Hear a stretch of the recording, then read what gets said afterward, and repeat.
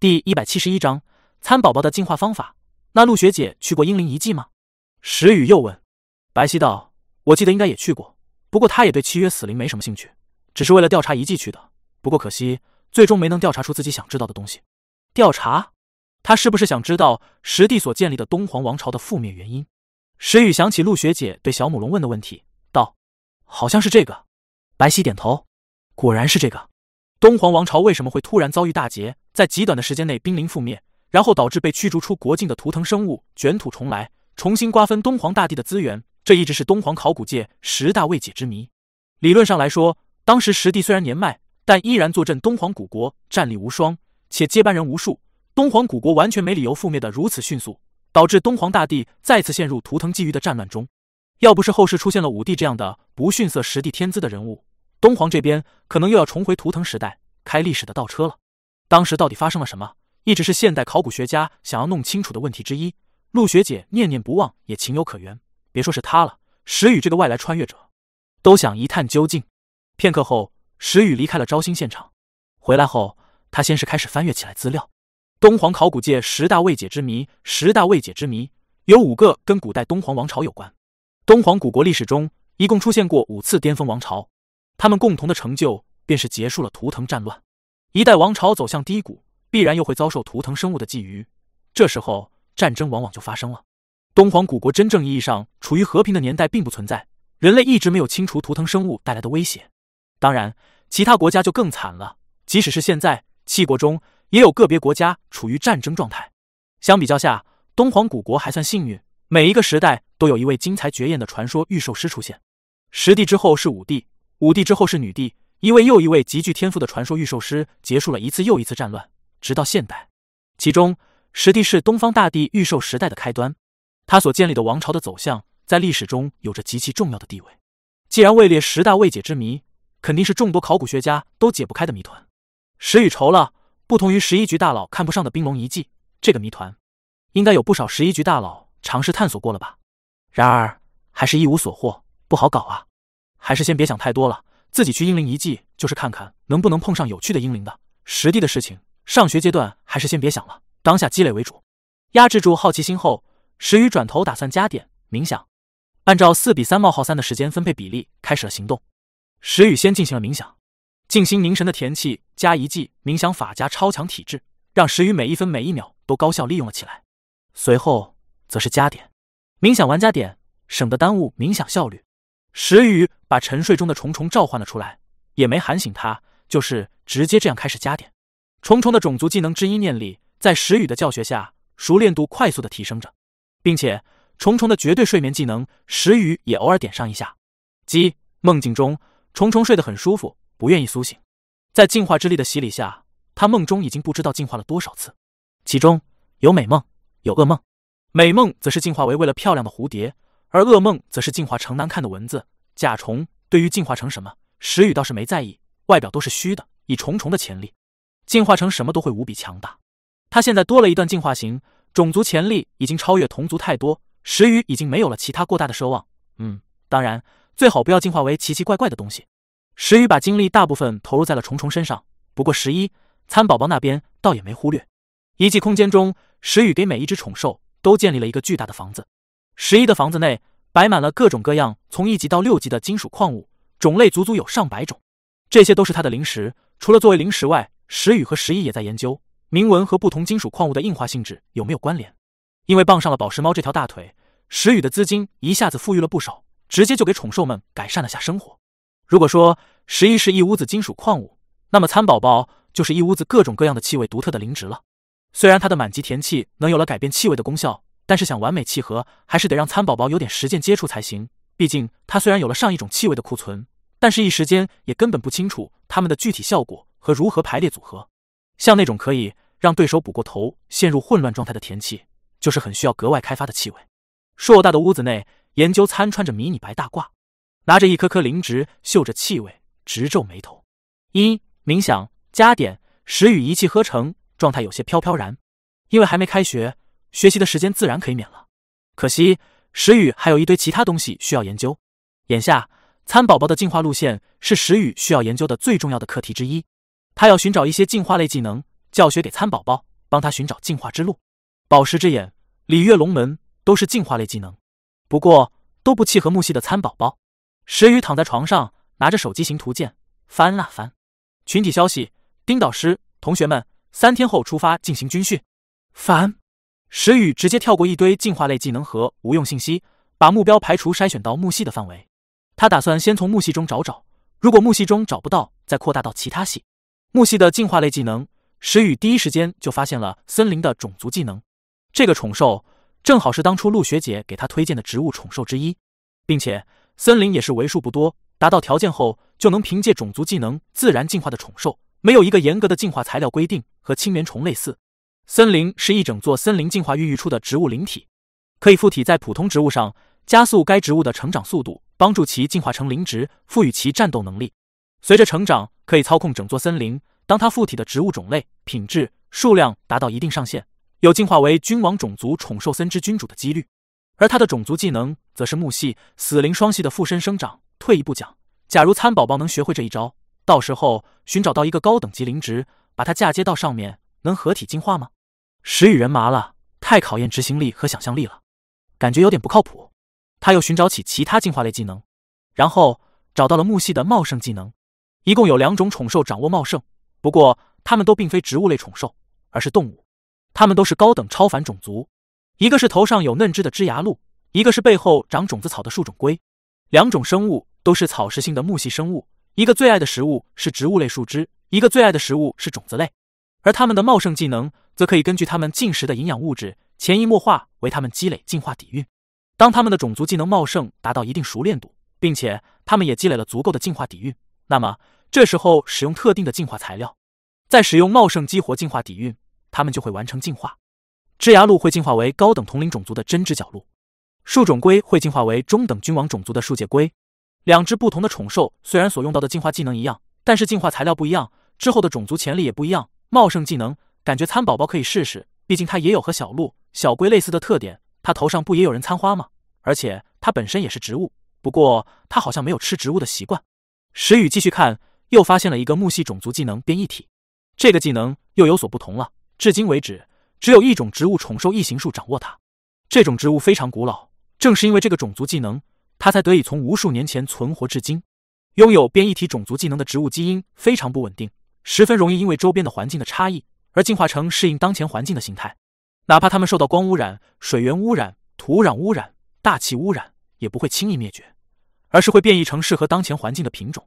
不过，把变异说是进化也不准确，因为变异进化后，它们种族等级有可能不变，有可能提升，但也有可能降低，单纯是为了适应生存环境而变异的，不稳定性极高。另外，由于变异体技能可能不存在熟练度概念，或者极难提升，异形数基本没有超过君王种族的。但一般来说，面对恶劣的环境，异形树都是朝着更高种族去变异进化的，这样它们才能更好的抵抗外界艰苦的环境。嗯，变异体这个技能比较容易理解，毕竟参宝宝就是变异过来的。意思是，假如参宝宝掌握变异体后，我只需要把它扔进岩浆、冰川、辐射地带，只要不死，它就能自己变异进化呗。岩浆参宝宝、冰川参宝宝、辐射变异参宝宝、参宝宝。第一百七十二章，抵达英灵遗迹，时雨冥想加点，构思参宝宝进化。转眼间，三天后，古都大学对战系考古系的六百多名新生即将前往英灵遗迹附近进行军训。这期间，石宇思索许久，还是觉得变异体这个技能比较适合参宝宝，因为自家参宝宝本身就是变异种族，正常参宝宝是绝对不可能觉醒及吃掉八级生命果实，一点事也没有的。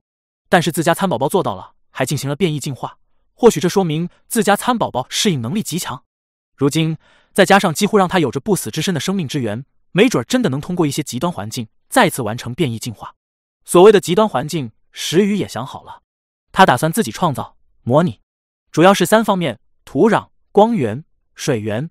他打算寻找一些超高等级的异土、异水、特殊光线来结合变异体技能，辅助参宝宝变异进化。其中，对于这些异种，石宇的想法是，他们最好是能给植物成长造成巨大压力，但却也能起到积极促进作用。总结来说，就是石宇打算参考参宝宝第一次变异进化的方法，再让他来次变异进化。当然，这个过程多加点外界条件也不是不可以，比如再给参宝宝吃一颗高等级灵果，借助更全面、更高级的超负荷资源，让参宝宝朝着更强的种族去变异。这之前，石宇也会尽可能把变异体技能点高。通过这个技能，说不定随着石宇参宝宝接触的特殊环境越来越严酷，直接解决了参宝宝全部的进化难题，能让他一路变异进化到神话种族，把参宝宝栽到月亮上，变异进化为月亮参宝宝；栽到木星上，木星宝宝扔到太阳里，死灵参宝宝。至于茂盛技能，石宇觉得靠这个进化的几率不大，但如果有机会复制过来，也不是不可以。茂盛其实就是典型的园丁技，为低阶木系技能，能让草木茂盛生长，增强木系技能威力。部分特定宠兽通过这招和适合的进化材料，的确可以进化。但参宝宝这边，石宇没信心。参宝宝目前都君王种族了，单纯靠着一个低阶非种族技能完成进化，有点不现实。到时候估计还是得要求所谓的特定材料，实在不好实验。不如变异进化省事。比起把希望寄托于茂盛，石宇还不如期待一手超阶技能植物掌控。这个技能包括了大部分木系技能的能力，不仅可以操控植物生长，还可以提升植物品质。说不定到时候石宇把这个技能给参宝宝点到出神入化后，他能通过这个技能帮助自己提升品质，再次完成进化，看起来比茂盛技能的上限高出许多。而现在的是问题就是异形术不太好找，石宇已经留意相关信息了。他希望可以在他把参宝宝的种族技能点的差不多前，能复制到变异体技能。而眼下，石宇已经开始坐上了前往英灵遗迹的校车。这几天大家在学校里待的还习惯吗？停在校园内的装甲校车内，石宇他们班的学生已经就位。丁导师站在前排，笑呵呵的看着学生们。在军训结束前没有提前开学，为的就是给新生们一个逛逛校园、了解校园、适应校园的时间。习惯，古都大学天下第一。训练设施太牛了，就是有点贵。车内学生们十分活跃，几个社交牛逼症的学生扯着嗓子大喊道：“古都大学毕竟是培育出了无数大师及御兽师，甚至还培养出过传奇御兽师的顶级学府，内部的训练设施自然能满足这些新晋职业御兽师的要求。”嗯，不错。丁导师笑道：“到了地点后，你们记得听从班长指挥，有问题也可以找石宇同学，不要惹出麻烦来。”丁导师话落，不少人目光齐刷刷看向前排坐着。闭目养神的石宇和他旁边不自在的班长王林，王林是班长，有问题找他是应该的。而石宇则是因为太强了，所以丁导师格外放心。无论是考古领域还是实力，石宇都要完爆同期学生一大截。不过也正因此，此时王林很蛋疼，他怎么就跟石宇分到一个班了呢？此时他前几天想超越石宇的雄心壮志，在看完石宇参加对战社考核后，直接凉了一半，受到的刺激程度不见得比榆树小多少。原本想着靠这次英灵遗迹达成反超，但是现在王林、榆树等人都有点心虚。不一会儿，一堆校车从古都大学校内各地开始出发。英灵遗迹位于古都市边缘的一个遗迹保护区内，由御兽兵团驻守，算是比较安全的遗迹了。两千年来一直没有过什么危险，只给后人带来了机遇。距离的话也不是很远，两个小时车程足够了。过程中刚开始还好，但是忽然间，坐在石宇旁边的王林有些紧张，我不对劲。他目光瞥向冥想的石宇，莫名感觉石宇身上的味道有些好闻，甚至还生出想多闻闻的感觉，让他直呼自己是变态。你身上什么味道？片刻后，王林忍不住问道：“沐浴露还是洗发液，还是什么牌子的香水？”石宇明明可以靠脸和才华吃饭，搞这些花里胡哨的陪衬干什么？虽然说真好闻，石宇睁开眼睛看向了他，默默不语，从口袋拿出一个持续散发甜气、萦绕自身的香囊，晃悠在王林眼前。出神入化及以上甜气制作的香囊，可以缓解疲惫、补充体能、增加冥想效率。怎么可能？我又不是没用过，哪有这么多效果？你哪买的？王林不相信。而且味道也很特殊，你没用过的，这是我们自制的，需要吗？同学有情价，三百万一个，大概可以用一个月，建议打包一年份，让你超越玉树，肯定没问题。石宇笑呵呵看向他，我能这么强，全都是靠他。王林一愣，嘿呀，真 T M 贵。价格都快直逼给君王级生物使用的五级资源了，有这个钱，他去买空灵石和其他补品不好吗？少忽悠我！另外，纠正一下，我本来就比玉树强。王林道：“用不上这个东西。”那好吧。石宇揣回香囊，给你机缘，你不把握呀？他真没说瞎话。王林作为强化类天赋，也很容易虚弱的。这个香囊绝对是强化类天赋御兽师的极品神器，不仅可以辅助御兽师自己冥想。用来缓解御兽师使用御兽天赋帮助宠兽训练后的疲劳也很好用，性价比完爆其他补品，三百 W 真的有情价了。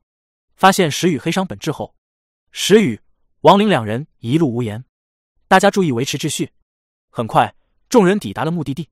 到了地点后，丁导师又不知道从哪里冒出来了。石宇他们这辆车上的学生，还有附近十几辆其他车下来的学生，纷纷在各自的代班导师引导下排好队，整整齐齐下车。好高的城墙！下车后，学生们立刻可以看到自己远方高耸达几十米的围墙。其实，每一个临近野外的城市都是建有城墙的，比如平城就有抵御雪山凶兽的高大城墙。这些城墙建筑材料特殊，哪怕是凶兽也很难轻易攻破。看到城墙，众人很清楚的意识到，这里应该是古都边缘了。也正是。古都是某个御兽兵团驻扎的地方，以及英灵遗迹的所在。今年古都大学的新生来了，都是好苗子，真想拉来兵营中操练一下。可惜现在愿意来御兽兵团的有天赋的御兽师少了。你懂个屁！现在国家追求的是全面性人才，哪能全来兵营？学生们到达的时候，不远处一群穿着迷彩作战服的御兽师望着他们，互相交流着。别聊了，去接待下古都大学的校领导。其中一个为首的军官道。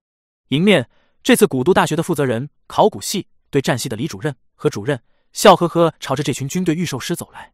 老徐，好久不见啊，有一阵子了吧？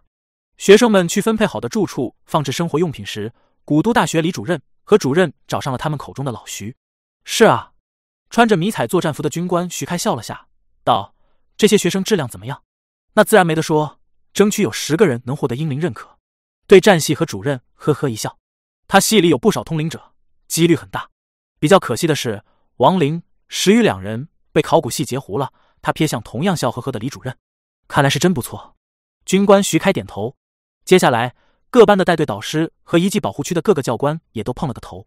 而不一会儿，找到自己的临时住所、放置好了生活用品的学生们也都出来了。在导师们的指挥下，这次六百多位来英灵遗迹军训的学生快速被组织了起来。石宇在人群中不用想。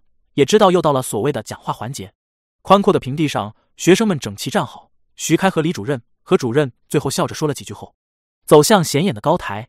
此时看到这个皮肤黝黑、带着一点胡渣、体型壮硕的军官上台，露出严肃的目光。下面的学生开始小声议论：“那是古都顶级大师之一，徐开，御兽兵团中的强者，有过率领小队和霸主亡灵厮杀半天的超强战绩。据说他也是得到强大古代英灵认可的御兽师。”下方这群古都大学的新生也都是有见识的人，毕竟除了个别是草根出身，他们多数还是玉二代，对于古都御兽领域的强者并不算陌生。你们好，我是你们此次军训的负责人之一徐开。徐开目光在人群中流动，道：“你们都是天之骄子，顶级学府的精英，我非常荣幸能成为你们的教官。这次我将和你们的李主任和主任一起带你们领略那些古之英雄的事迹。”徐开不远处，考古系李主任对战系和主任。都笑着点起头。这次军训意义非凡，主要是为了让这群生活在相对和平年代的学生们可以清楚，如今来之不易的生活是谁带来的。除了当今依然镇守在城市边缘、国境边缘的御兽师们，还有应该感恩的，则是那些从图腾手中将人类解放出来的古代英雄。可以说，这次军训的目的就是培养年轻御兽师的民族认同感。教书育人，最后如果教出一堆人间崇洋媚外的软腿虾，那也白教了。外敌无数的情况下。谁也不敢保证稳定的局面可以维持多久，毕竟古代东皇王朝也曾经无比辉煌，压得图腾一族们喘不过气，甚至还有王朝组织大军杀到了图腾区，但依然无法摆脱王朝没落定律。因为相对之下，人类寿命太短了，异族是打不光的，谁又能保证当下的和平会永久持续下去？如今边境小规模的摩擦从未停止过，这种情况下，让这些非军队路线的精英御兽师们也了解下东皇古往今来的历史。拥有一定的热血非常有必要。这位徐开大师也是位演讲的好手，短短几句话就把在场许多年轻学生的民族荣誉感调动了起来，让不少人热血沸腾，甚至恨不得马上退学参军，去边境战场和图腾区的异族厮杀。为了守护后世，伟大的实地将第一代东皇王朝无数英雄的痕迹烙印在了前方的英灵遗迹之内。凡是东皇人族都有希望得到英灵的认可，并激活他们的事迹。后续东皇王朝长达千年的动乱中。有不少英雄豪杰就是凭借此处英灵遗迹的认可崛起，并发起反攻号角的。而直至如今，英灵遗迹内的全部英灵也尚未被解锁，等待着后世的继承者。也就是说，如果你们有足够的决心、信念、资质，那些古之英雄说不定会从历史的长河中走出，以死灵英灵形式辅佐你们，继续以另外一种形态守护东皇。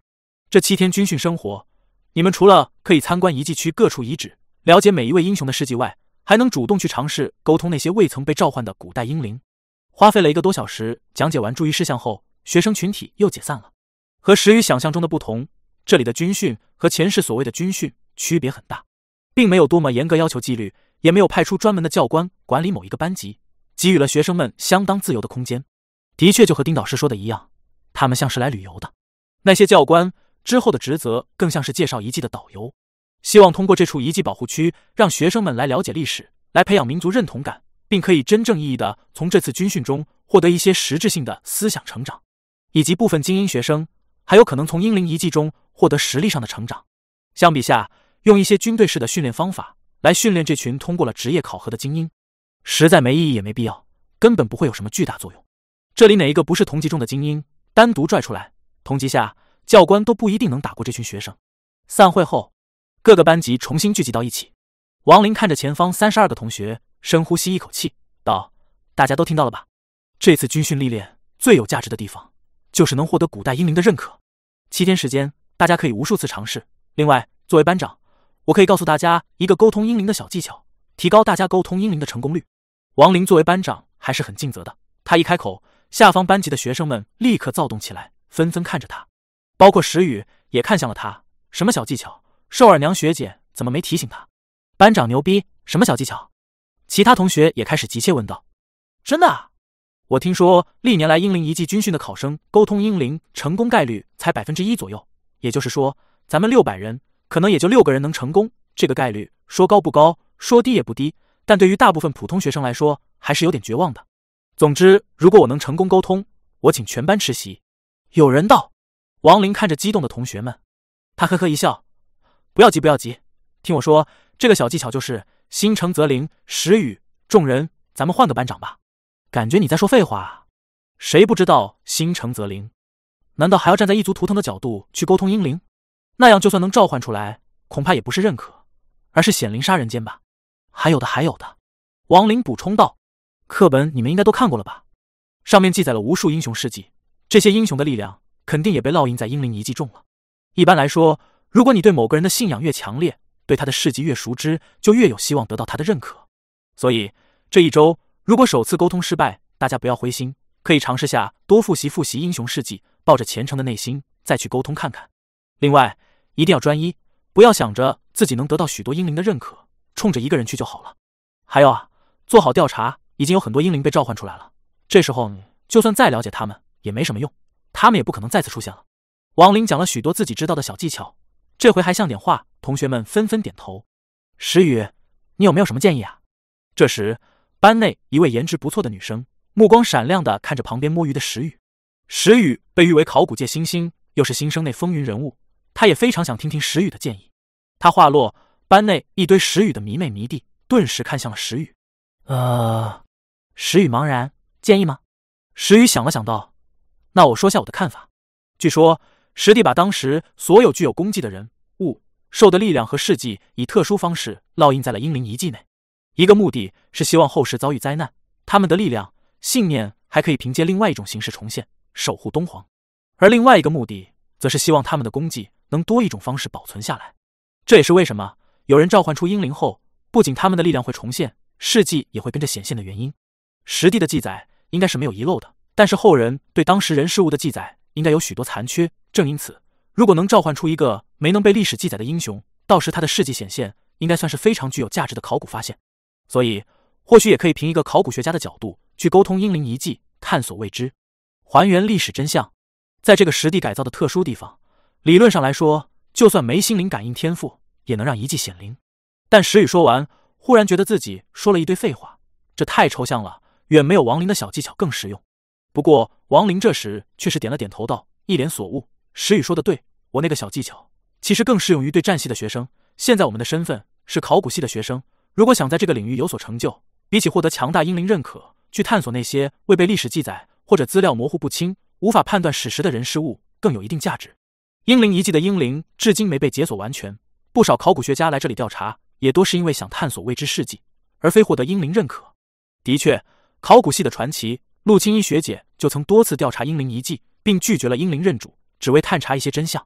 石宇点头，我们懂了。石宇和王林话落，考古系。一班的学生们都是一脸醒悟的表情。虽然不知道发生了什么，但是经过石宇和王林这么一说，他们忽然觉得稳了，有一种被打通任督二脉的感觉。班里有个大佬和好班长戴飞真不错。石宇，你们懂个球了。众人交流的时候，忽然远方一道白光冲天而起，瞬间吸引了全部人的注意力。不远处，一个教官瞪大眼睛道：“谁啊？你们这群学生这么效率的吗？这么快就有人跑到祭坛那边，并且沟通英灵成功了？”不少导师也纷纷露出惊讶面容。哪个班？是对战系三班。解散后，他们就被班长于树带着跑去英灵遗迹那边了。这一刻，几乎没有犹豫的，无论是师生还是教官，都坐不住了，纷纷朝着英灵遗迹那边跑去，想看看对战系三班在那边折腾出了什么。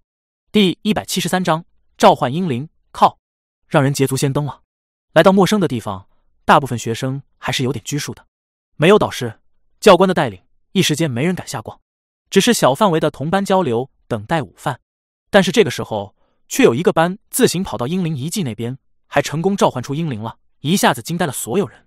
对战系三班榆树，我他喵，肯定是榆树召唤出了英灵。考古系一班这里听到远处的议论声，王林傻眼了。榆树这小子动作怎么这么迅速啊？这才刚到这里没多久，怎么就跑过去了？赶着投胎吗？我们也过去吗？那是当然啊！遗迹内英灵就那么多，召唤出一个就没一个。去看看对战系的人召唤出了哪位？考古系一班也快速跟着人群往着英灵遗迹那边跑去。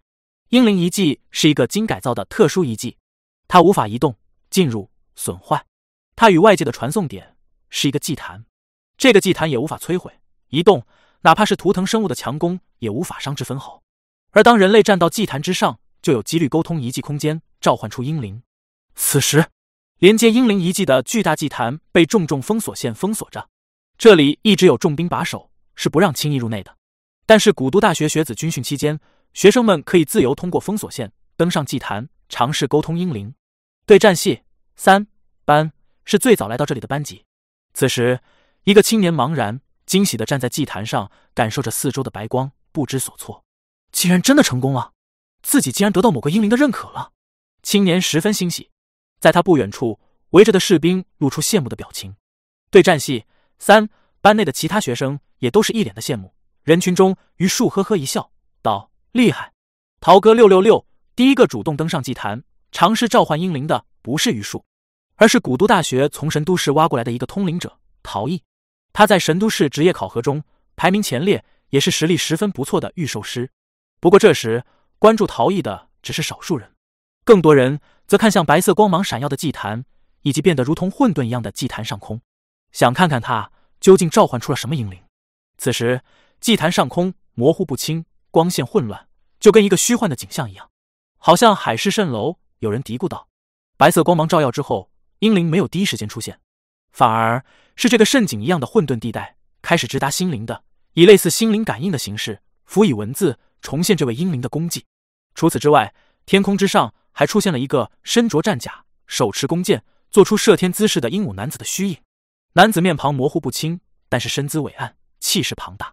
天震军神摄营卢之舟。很快，他的名字出现在场，所有人立刻知道他的身份。不仅是因为英灵遗迹将他的名字心灵感应到每一个人心中，还因为卢之舟的事迹也被详细记载了下来，大家都不陌生。竟然是卢之舟，是他！陶艺有点惶恐。感觉自己何德何能得到他的认可？卢之舟，实地麾下三大军团中天镇军神社营中的一位御兽师。第一次图腾之战末期，天宇关战役打响，神社营奉命镇守天宇关，阻拦羽妖帝国进攻。此时双方兵力差距悬殊，我方补给不足，战事告急。神社营成员卢之舟主动申请启动天阵大将军留下的特殊阵符，以燃烧自己和五只战宠全部生命力量为代价，射出璀璨一箭，点燃了神社营所有成员的决心。历时两天两夜，神社营以剩余三人、无数牺牲为代价，等待到援军，阻挡了羽妖帝国进攻，完成了镇守任务。接下来，英灵遗迹甚至还显出卢之舟的生平经历。他三十三岁死亡，从十七岁成为御兽师开始，就响应图腾之战征战了十六年。他天资普通，直到死亡也不过是后世的大师级御兽师。作为神社营普通成员，他却能直面霸主级生物，不惜以生命为代价做出抵抗。人们了解卢之舟的功绩后。他力量痕迹和因为信仰之力所化的英灵也终于显现。一把缠绕白色气旋、形体虚幻的白色弓箭，在光芒的汇聚下浮现在了天空中。这个就是卢之舟的英灵化身。不过，弓箭英灵浮现后还没完全结束，弓箭英灵于天空蓄力，光芒璀璨，对准陶艺，让陶艺深呼吸一口气。英灵出现后，有可能直接认主，也有可能选择考验召唤出他的御兽师。如果召唤者无法通过考验，那么英灵就会自主消散。祭坛外，此时已经汇聚了大量人员，六百多名学生，此时已经全部抵达了这里。各个班级的导师，还有这里的教官，以及徐李何等几位顶级大师，也都盯着祭坛之上，打算看看这位学生能不能通过考验。竟然不是榆树，而是陶艺啊！他也不错，父亲是烈士，可能是自幼受到了熏陶吧。何主任颇为感慨的看着前方。总之，他们对战系的学生能得到英灵认可，他就高兴。不是榆树，一个不认识的。考古系一班这里，大家看到眼前的情况后，议论了起来。卢志洲，我在课本上见过他的故事，哎，他应该是大师级御兽师吧？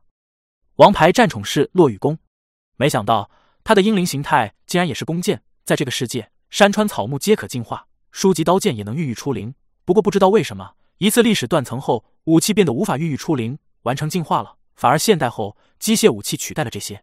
滴滴滴，查无资料。与此同时，下方到来的石宇激活了图鉴，可惜查无资料。石宇还是头一次看到十一局图鉴显示出未知字样。他本来想看看这个弓箭英灵的种族等级、成长等级的，但看来这个出现的弓箭英灵在彻底认可眼前的学生之前，还并未完全化为死灵生命体。神奇！石帝到底是怎么做到把这么多人和物的力量痕迹烙印在这里，然后让他们在后世成为英灵的？石宇无比好奇，这得是多么伟大的力量啊！来吧！此时，这个对战系叫陶艺的学生也坚定了内心。无比的振奋，打算接受卢之舟英灵的考验。他召唤出了自己的宠兽，打算全力扛下这一击。祭坛外，王灵道：“如果这个陶艺能通过考验，将一飞冲天了。卢之舟生前是大师级御兽师，在实地力量和后世信仰之力的加持下，他的英灵换算下不会低于低等君王种族潜力，成长上限很高。”此时，各地看着打算接受考验的陶艺，都纷纷讨论起来：“是看英灵生前的实力来评判种族等级的吗？”考古系一班这里有人询问王林，对待这种死灵遗迹，王林这种通灵者明显知道更多。看实力和功绩，王林道也跟信仰力量有关。那师弟麾下三大将的英灵该是什么等级？石鱼也站在王林身边，望着祭坛问道。王林当着全班面道：“师弟麾下三位大将都相当于我们现代的封号传奇，是可以抗衡图腾级生物的强者，他们的英灵必然是霸主潜力。”很可能是高等霸主种族，白灵、天震、镇海三位大将军，还各有一个副将，也都相当于我们后世的传奇御兽师。这三个副将中，有人被召唤出来过，他们的英灵成长潜力不亚于低等霸主种族。除了三大军团，实地麾下还有十位传奇级的普通将军，他们的英灵潜力等级也不亚于霸主种族，以及铁血无双的百大战将，这些战将的英灵潜力等级都是高等君王种族。而像卢之舟这样生前是大师级，并且留有巨大功绩的战士，他们的英灵潜力等级也不会低于君王种族。正因此，所以才说英灵遗迹是实地为后世留下的瑰宝，是保证东皇万世不灭的根基。实地牛逼！王林说的面红耳赤，他要求也不高，只要能得到实地麾下百大战将其中一位认可，那就此生无悔了。轰！而此时，陶艺已经承受了弓箭英灵璀璨的一击。巨大的能量冲击波中闪烁起无穷的光耀，随着光芒散去，陶艺和他的宠兽凄惨的模样出现在了祭坛上。此时，陶艺虚脱的望着天空中的弓箭英灵，露出笑意。他扛下来了。英灵都是根据召唤出他的御兽师的实力来进行考验的，不会太为难人。有懂行的看着祭坛上的情景，点了点头。而此时，祭坛上弓箭英灵则是光芒暗淡下来，化为了一颗类似种子的白色物体，落向这名学生掌心。哈哈哈哈！恭喜恭喜！这时，所有人都羡慕的看着这名学生时候，这次军训负责人徐开大笑道：“你是叫陶艺是吧？恭喜你获得卢之舟前辈英灵的认可，你可要好好继承他的意志啊！”是，拿着弓箭英灵魂种，陶艺表情兴奋。此时虽然还没契约，但是他可以清晰感受到魂种和自己之间的联系，做得不错。对战系和主任也赞扬的看着陶艺。片刻后，大笑的徐开走到了他身边，拍了拍他的肩膀。然后冲着在场的六百多名学生道：“大家看到了吧？这就是我刚才说的英灵考验。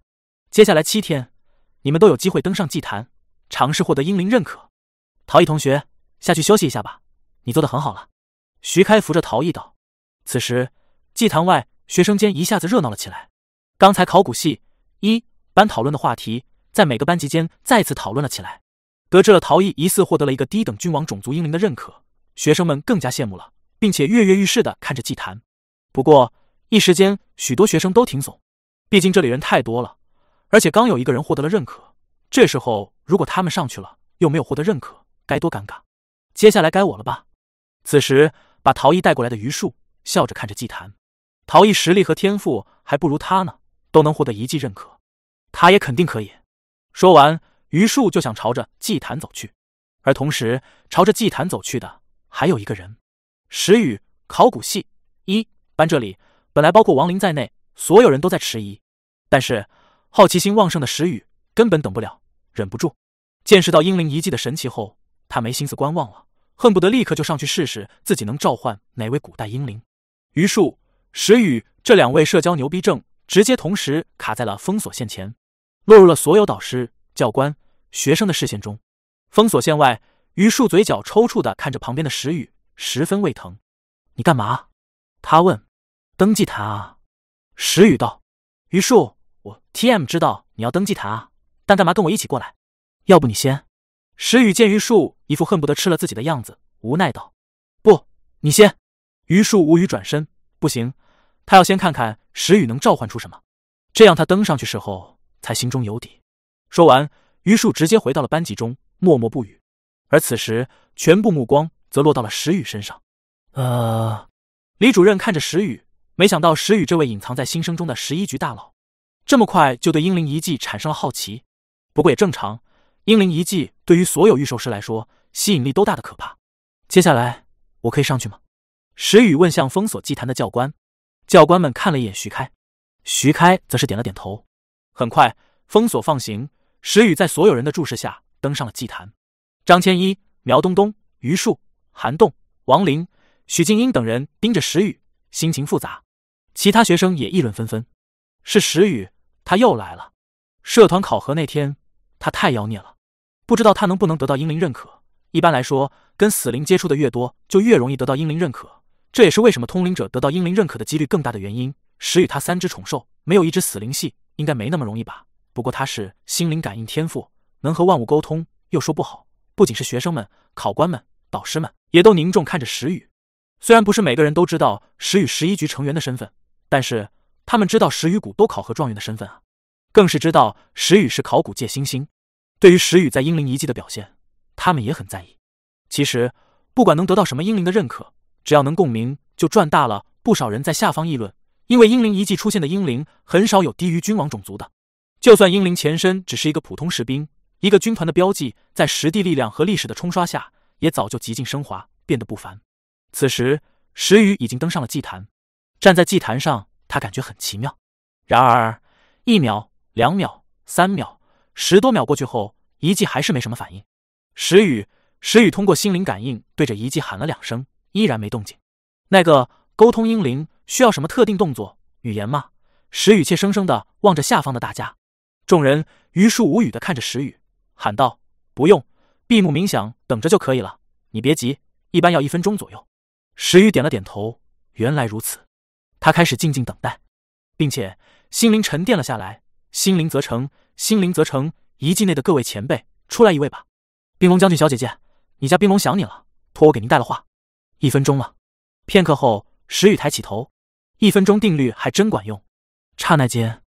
无穷光芒从祭坛乍现，光耀直冲云霄，所有人瞪大眼睛。轰隆隆，底下刚下去的陶艺瞪大眼睛，所有学生都瞪大眼睛。刚才陶艺召唤出英灵的异象再次出现了，有反应了。石宇和某个英灵产生共鸣了，我就知道。李主任目光闪亮，作为十一局成员的石宇，怎么可能无法召唤出英灵？现在唯一的问题就是，石宇召唤出来的英灵和他产生共鸣的英灵是哪个？会不会是百大战将中的一员，潜力等级为高等君王的战将英灵？李主任期待这家伙。而余树、王林等人没想到石宇真的能召唤成功，不由得心脏一突，看向天空，想快点知道石宇召唤出的英灵的事迹。学生、导师、教官，每个人都抬头看向了天空。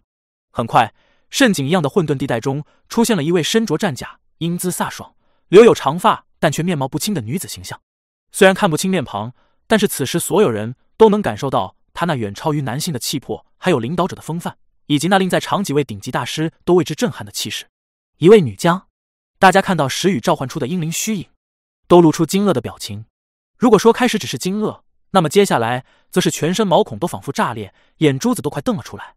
冰龙大将军。穆徽因，实地麾下封号大将军，实地麾下最强大将，女中豪杰，巾帼英雄。穆徽因一生未嫁，全部生命奉献于东皇古国图腾之战中，以单兵姿态抵挡过五次图腾进攻，灭杀霸主三十九位，覆灭君王无数。随着这道英灵虚影的功绩一点点浮现，所有人都被震撼的无以复加，震惊看着祭坛上眯着眼的石宇。怎么可能？这是谁？冰龙大将军，实地麾下最强大将。为什么从没听说过抵挡过五次图腾进攻，灭杀霸主三十九位，覆灭君王无数？这个战绩完全不逊色另外三位大将。尼玛，石宇，你还是个人？到底是怎么做到的？他他。与此同时，祭坛上不是实地英灵吗？石宇望着虚影，冰龙大将军也很好了，正好给冰龙大将军证明。第一百七十四章，冰龙大将军，古都遗迹保护区，英灵遗迹召唤祭坛上空。此时。随着一道风姿绝世、气魄超绝的身影从英灵遗迹中浮现，祭坛四周所有人忽然安静了起来，静静看着这道身影以及他的功绩介绍。王林、余树等人嗓子干哑：“妈的，这怎么可能呢？简直离大谱了！”这李主任、何主任、徐教官等人也瞠目结舌。一个从未被历史记载下来的传奇大将，实地麾下最强单兵大将，所有人都仿佛被捏了一把心脏。从功绩介绍来看，这似乎是第一代东皇王朝战力第二，匪夷所思。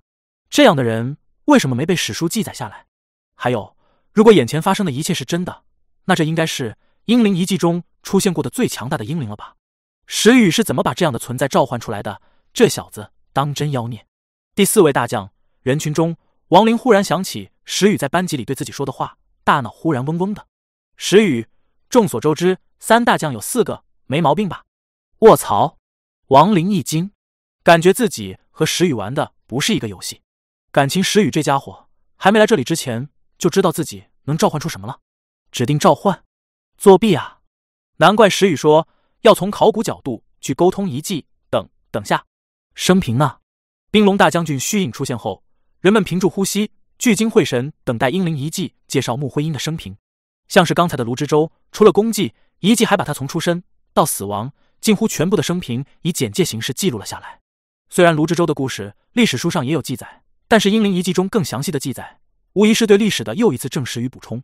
相比卢之舟，眼下穆慧英毫无疑问更为神秘，功绩更为震撼。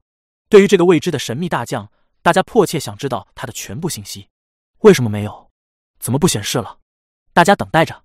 然而片刻后，在场的人们愣住了。英灵遗迹除了名字与庞大的功绩外，似乎没有详细记载穆徽因更详细的资料，似乎不仅是历史，连建造英灵遗迹的实地都没有过多记载他的信息。为什么？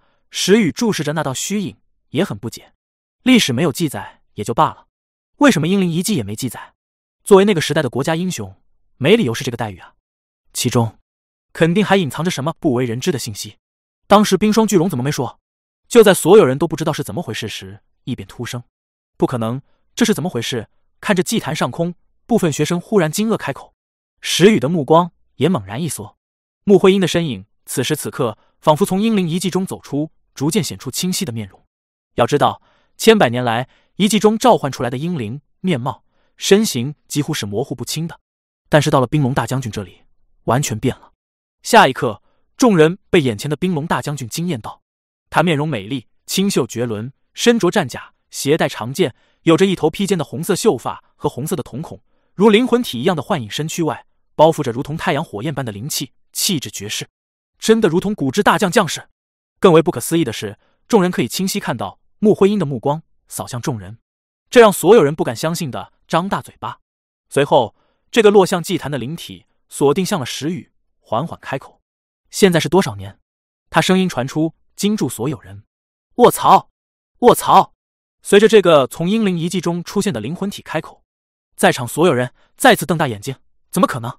英灵遗迹中被召唤出的英灵，不都是没有任何记忆的全新生命体吗？眼前这是怎么回事？英灵说话了。石宇内心也微微震动，这不科学。据他了解，这里的英灵不可能存在意识啊！自己唤醒了什么呀？实地建立东皇王朝的两千三百年后，石宇强忍惊异，看着自己不小心召唤出来的英灵。穆辉英表情看不出情绪。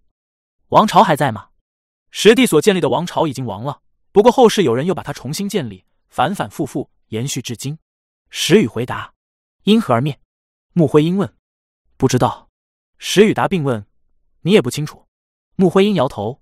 包括我在内，这里所有灵体都是实地通过时间之力保存下来的力量痕迹，并不知道王朝后期发生了什么。我只是穆辉英的力量痕迹，或许他本人经历了一切，但我一直在这里。他是一个特例，是这里唯一一个保存部分意识的灵体，也是唯一一个没有被记载生平的英灵。穆辉英英灵化落，李主任等考古系导师浑身微微颤动。果然没错，对于实地如何改造的英灵遗迹，考古界有许多说法。其中有人说是实地把所有英类的灵魂葬在了这里，也有人说实地是通过时间之力把他们的一部分力量在某个节点复制了下来，保存了下来，烙印在了这里，然后力量痕迹经过时间的沉淀，在信仰力量的洗礼下成为了英灵。现在看来，果然是后者。那些英雄真正的身躯、灵魂或已经泯灭，或还安葬在某处，而英灵遗迹中诞生的死灵，则和元素进化为的元素生命体刀剑书籍进化出的剑灵。书灵一样，是纯粹由力量痕迹和信仰结合诞生的全新超凡死灵，正因此才没有前身的记忆，正因此存在形式才各种各样，正因此力量形式却近乎一样。实地这个手段让在场域兽师再次震惊，这相当于是塑造全新的死灵种族了。手段并不会比现代可以塑造机械生命的机械师差多少。时间系果然神秘强大。此刻听着穆辉英英灵的回答，石宇陷入了沉思。什么都不知道吗？那么看来，穆辉英本人和冰霜巨龙后续镇压冰和图腾的事情，这个英灵也不知道。毕竟这个遗迹建立时间还是挺早的，那会儿穆辉英应该还年轻。为什么这里和外界都没有你的记载？石宇问向穆辉英英灵。他现在有新的猜测了。站在英灵遗迹祭坛上，石宇想弄清楚两件事：最想知道实地因何死亡，第一代东皇王朝因为什么覆灭；其次。则是为什么冰龙大将军没有被历史记载下来？穆慧英的灵体没有回答，但石宇看着冰龙大将军的特征，却推测道：“是你自己没有让石帝把你的事情记载下来。”石宇话落，穆辉英英灵目光看向了他，所有人都看向了石宇：“是那只龙和你说的吗？”我猜测的，一个战力爆表、战功爆表的实地之下第一人，晚年甚至还能镇压图腾的顶级传奇，怎么可能后世一点记载没有？有人特意抹去他的痕迹，是最大的可能性。那你继续猜猜看，我为什么要抹去自己的痕迹？穆辉英表情看不出波澜，和石宇互相对视着。此时此刻，在场的所有教官、导师、学生都麻了，完全不知道眼前到底是怎么回事。现场情况一度惊悚，就连徐教官等人也都瑟瑟发抖。他奶奶的，实地麾下第四位大将，这么刺激的吗？还有这个叫石宇的学生，他好勇啊！祭坛上，石宇直视冰龙大将军，穆辉英和他脑海中构建的形象。差距非常大。他原本以为冰龙大将军出身冰原部族，契约冰龙，封号冰龙，会是一位拥有冰系御兽天赋的御兽师。但是从他的力量波动来看，他的力量却是呈火焰类，这不科学。冰龙大将军的力量，冰霜巨龙的主人天赋偏向火系，而且他的发色同色，不是纯种人族。石宇深呼吸一口气，在那种动荡的时期，一个顶级强者却始终以单兵姿态作战。除了因为他强的离谱，没有人可以配合他外，那还有一个可能，他很难融入集体，或者说不想融入集体。另外，如果有什么原因让一个人不想自己的身份被记载，那么有一个可能，那就是连他自己都讨厌自己的身份。石宇看向冰龙大将军种种特征，他的形象逐渐和历史中另外一个人物的形象重叠，并判断起他不是纯种人族，而是人族和异族混血。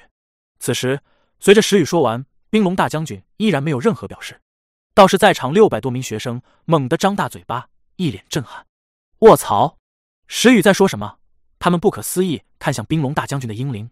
此刻，穆辉英的英灵看向在场后世的人族，表情还是很平静，道：“你们似乎并不排斥这个身份。”他没有否认石宇的推测，并且他发现后世的人听到这个表现和他那个年代的人族有很大区别。非我族类，其心必异。这是当时那个年代的普遍观念。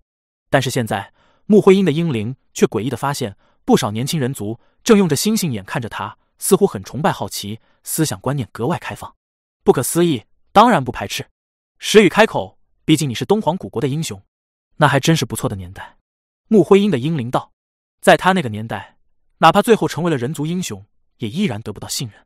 受够了排挤与猜疑的穆徽因，最终还是选择了淡化自己的存在，甚至因为自己的原因，终生未嫁，让这条血脉彻底断绝。因为这个血脉，他受尽折磨，甚至只能契约强大冰系宠兽来冷却自身的力量。混血带给了他天赋潜力。”也带给了他许多磨难，他不想这样的血脉遗传下去，祸害后人。除了这处英灵遗迹，应该很少有地方存在他的名字了。历史中还有和我类似之人吗？穆徽因的英灵问。石宇点头。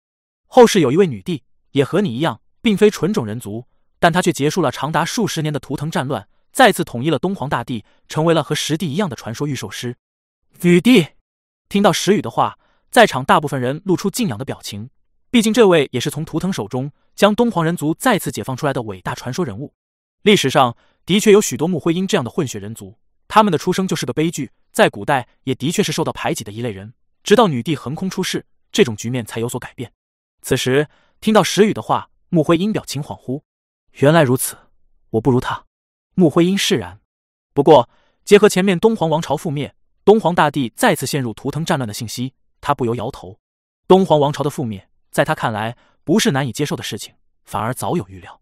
十帝的野心太大了，驱逐了图腾之后，并不满足于此，他还想长生不老，踏足神话，永世不朽。甚至目光锁定了沉睡的神话生物，如此雄心壮志，成则一飞冲天，败则烟消云散。虽然不知道后来石帝选择了怎么样的道路，但看来结局并不怎么好，导致东皇王朝遭遇大劫，再次陷入战乱。不过幸运的是。看来后世的人族自己挺了过来。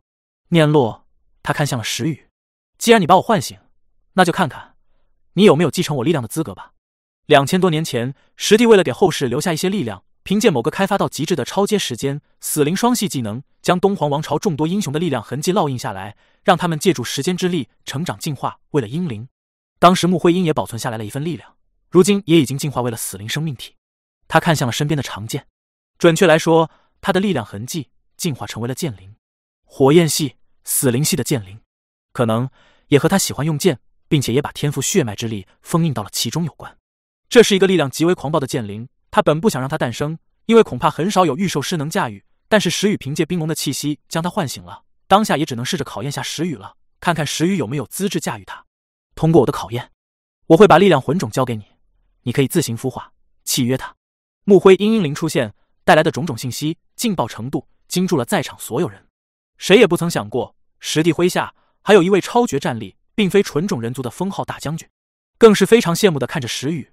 石宇，这是即将得到一个疑似霸主种族死灵幼灵，什么考验？石宇非常感兴趣，抬起头。第一百七十五章剑灵附体，什么考验？石宇询问的时候，在场所有人咽了口口水，想彻底获得这种前身堪比图腾战力的英灵的认可，估计会十分不容易。石宇能通过所谓的考验吗？两道，穆徽因的英灵开口。第一道要看你能否承受同级下的剑灵附体，此乃考验你自身的身心意。第二道，驾驭剑灵，战胜我。话落，大部分人心跳加速。先不说第一道考验是什么，第二道考验怎么可能？虽然说当下的英灵只是一道力量痕迹，但也要分是谁留下的。况且在漫长的时间长河，这些力量痕迹并没有因为时间而变弱。反而是逐渐的变强着。考验是要和一位足以堪比图腾的古之大将战斗，而且还要胜利，哪怕是同级之战，这也是天方夜谭吧。此时，有着一头披肩的红色秀发以及红色的瞳孔的木灰鹰拔出了佩剑，长剑静静悬浮于天空。和冰龙大将军一样，这把剑也是灵体姿态，包裹着如同太阳般的火焰灵气，光辉耀人。此剑剑身呈红色，绣有花纹，饰有阳炎，周身的焰光逼人，并镌刻两个字。红雀，片刻后，长剑落入祭坛，并且插入其内，倒不是真正的插入，而是以灵体的形式似融合一般，半截剑身融入祭坛，只留下剩下半截剑身和剑柄。剑，这就是力量魂种最终会化为的形态吗？石宇看向剑灵，目光微颤。如果说刚才他只是很有兴趣，非常有兴趣，那么现在看到这把剑，就是宇宙无敌超级非常特别有兴趣。剑灵，是剑啊！这不比工兵帅。石宇已经开始幻想自己成其石铁兽，然后剑灵附体，一剑一个小图腾的画面了。是又不是？穆慧英道：“力量魂种最终的确会化为剑灵形态，但是最终是什么模样，要看孵化它的人。红雀只是我的配件，是我用来封印天赋血脉力量的武器。最终，我和他都会彻底消散，融入魂种，化为全新的剑灵。你要接受考验吗？”穆慧英道：“事先提醒你会有生死危险。剑灵是我的力量痕迹进化而成，哪怕它只是超凡级，也都需要五品以上御兽师的肉身、灵魂才能承受它的力量。”为了压制我自己的力量，我才不得已契约众多兵系战兽，成为你们口中的冰龙大将军的。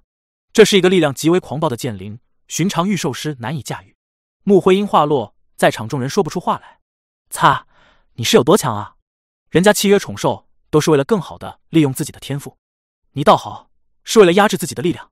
另外，哪怕剑灵是超凡级，都需要五品以上御兽师的肉身、灵魂强度才能驾驭。在古代。东皇王朝针对御兽师的等级进行过一段时间的品级制，共分九品，九品就相当于见习御兽师，八品职业初级，七品职业中级，六品职业高级，而五品自然就是现在的大师级。理论上来说，想驾驭一只超凡级宠兽，初级职业御兽师就行了，御兽空间二级就行了。但是这个剑灵却需要五级御兽空间。众人经过判断，只有一个可能，用现在比较容易理解的说法，就是剑灵的种族等级高的离谱。至少也得有高等霸主种族，甚至以上，不然不会对御兽师要求这么严苛。我把他的力量控制在了超凡级。如果你能凭自己的力量拿起，那第一道考验便算通过。如果你拿不起现在的他，未来也必定驾驭不了新生的他。冰龙大将军表情平静，陈述着事实。石宇，要不算了吧？这时，人群中的李主任皱眉看着剑灵，那个剑灵的能量很暴虐，强度也很高，带来的负荷可能已经直逼君王级了。这根本不适合普通御兽师契约，你的御兽空间才三级吧？自身安全要紧。何主任也道，他们也希望石宇能获得剑灵认可，这对古都大学乃至对东皇都是一次重大的收获。然而，身为顶级大师的他们，可以清晰感受到这剑灵的力量的恐怖之处，哪怕是我想要拿起，估计也要承受一定负荷。徐教官感知后，目光严肃，这才只是超凡级剑灵啊！可以说，现在就是随便让一位普通大师级导师上去。都不一定能承受剑灵的力量。三位顶级大师都开口相劝了，但众多学生却发现石宇仍认真的盯着剑灵。算了吧，我知道你很牛了，但别在这种事情上乱尝试了。学生群体中，余树竟然也开口了。虽然羡慕嫉妒石宇，但是作为一个通灵者，他很清楚死灵系的弊端，尤其是能附体的死灵系宠兽的弊端。多数死灵系都是靠着吞噬御兽师的生命、灵魂、精神和体能成长战斗的，附体状态下。虽然能让御兽师战力飙升，但是对御兽师的体质要求高的离谱，消耗比御兽天赋还大。石宇明显没什么和死灵系接触的经验，不知道其中的凶险。一个实地之下第一人的英灵，石宇现在的确还承受不住。而且英灵遗迹的考验还从未出现过放水的情况。谢谢提醒，不过我还是想试试。石宇看着剑灵，对身体强度、灵魂强度要求极高吗？石宇一步一步上前，走到了剑灵旁。这一刻。众人屏住呼吸，只见石宇直接把右手落到剑柄上。如果是别的要求，石宇或许还会忌惮下，但是身体强度和灵魂强度两世为人外加有技能图鉴反馈，每一个阶段都达到肉身极限的他完全不虚。别看他现在只是中级御兽师，但是肉身强度早就直逼顶级大师了。轰！剑柄上包裹着的如同太阳般的火焰灵气直接缠绕上石宇的手掌。虽然剑灵只是灵体，但是石宇还是直接触摸到了他。当下，石宇感觉自己仿佛把手伸入太阳中一样，无比的炙热。那种炽热感更是一瞬间侵袭全身，让石宇顷刻就满头大汗，浑身仿佛被汗水浸湿。而随着石宇触摸剑灵，此时剑灵的力量也被解放。轰然间，有庞大的热浪从剑灵中爆发，嗡的一声，恐怖的热风朝着四面八方汹涌扩散而去。什么？几乎是一瞬间，围观在祭坛周边的学生们大脑瞬间晕眩，宛如中暑一般。这时，整个祭坛和周围的地面都被晒得滚烫滚烫的，稠乎乎的空气好像凝住了，恐怖的炎热压迫让在场的学生都喘不过气来，有一种无力动弹的感觉。快退开！在场的大师级代班导师们也没想到剑灵散发的威势便这么恐怖，险些要将这群学生晒得晕眩过去。此刻，他们头上也有汗珠流下，并连忙组织学生们向后退去。好热，火焰类元素生命体也不可能有这种温度吧？不少学生头皮发麻。这种温度超凡级，就离谱。不过更离谱的是，祭坛上的一切恢复过来后，所有人不可思议看向祭坛。此时此刻，剑灵犹如披裹着烈阳般附于刀刃之上，仿佛顷刻就能把一切外物化作飞灰。当下的祭坛之上，犹如炎热的地狱，哪怕大师及御兽师单凭自身，恐怕也很难坚持多久。那是温度最高的地方，宛如太阳的核心。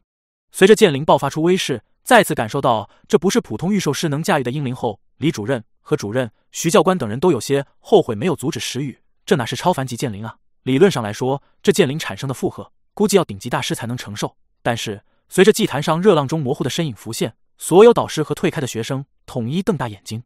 因为热浪的核心，温度最高的地带，石宇的手还稳稳地握在剑灵剑柄之上。当下，石宇的汗渍已经被蒸干，如同太阳般的火焰灵气更是缠绕在了他全身，仿佛在烧燃着他的体能，更让他犹如身处最炽烈的火海。嗡！随着石宇用力，插在祭坛上的剑灵微微松动一下，让所有人露出匪夷所思的表情。怎么可能？石宇不仅坚持了下来，还真的让剑灵松动了。他真的是人类？同样处于祭坛之上的木灰阴阴灵没有丝毫表情流露，但是已经亚于石宇能做到这种地步。后世的御兽师对于自身的锻炼，竟然到了如此程度吗？石宇于祭坛冥想召唤他时，他可以清晰感受到石宇的境界。在他那个年代，哪怕是特殊天赋的御兽师，对于自身的锻炼，也绝对不可能达到石宇这个级别。就算是他这样的混血人族，同级下体质也不一定比得过石宇。冰龙大将军又看向祭坛周围，看向那群苦苦坚持。意识仿佛昏厥的孩子们又看向了身处祭坛中心的石宇，看来能得到那头龙的认可，这个年轻的御兽师是自身不同寻常，宛如人形凶兽般，看似虚弱的身体内隐藏了庞大的力量。我擦，他一点事没有，他到底是怎么坚持下来的？学生群体中，余树、王林等人没想到他们在祭坛外也遭受了无妄之灾，感受到火焰剑灵爆发的威能，他们感觉身体仿佛要炸开。那个冰龙大将军没说谎。完全难以想象，这种力量出现在人体内会是什么感觉？难怪要借助冰系宠兽的力量压制。然而此时，最让这群艰难抵抗却不愿意离开这边的学生们难以接受的是，和他们差不多级别的石宇，此时竟然身处热浪的中心，仍然缓缓拔动着剑灵。这家伙不怕热吗？他到底是什么怪胎啊？